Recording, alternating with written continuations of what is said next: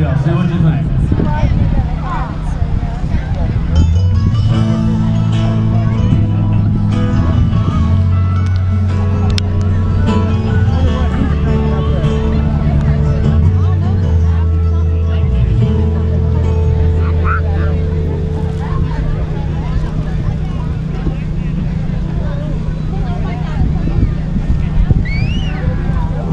I know the guy